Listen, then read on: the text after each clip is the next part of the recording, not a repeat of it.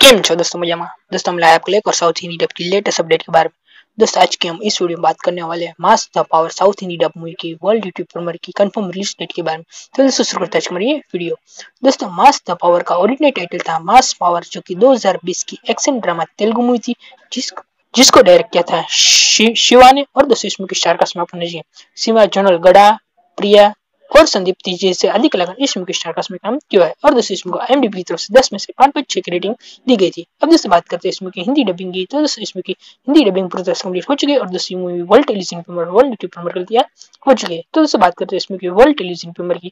तो दोस्तों अभी तक इसमें की वर्ल्ड टेलीविज़न प्रीमियर की कोई कंफर्म रिलीज़ डेट नहीं है, लेकिन दोस्तों फ़िलहाल ये मूवी वर्ल्ड यूट्यूब प्रीमियर के लिए तैयार हो चुकी है। तो दोस्तों मास द पावर के वर्ल्ड यूट्यूब प्रीमियर कौन से है यूट्यूब चैनल कर दी? और दोस्तों इसमें वर्ल्ड यूट्यूब प्रीमियर कौन से ऑफिशियल यूट्यूब चैनल के ऊपर देखने को मिलेगा इसी के बारे में आपको बताऊँगा तो दोस्तों मास द पावर के वर्ल्ड यूट्यूब प्रीमियर एक खरीदिए प्रिया मूवीज़ ने और दोस्तों का वर्ल्ड यूट्यूब प्रीमियर आपको देखने को मिलेगा प्रिया वीडियो के ऑफिशियल यूट्यूब चैनल के ऊपर।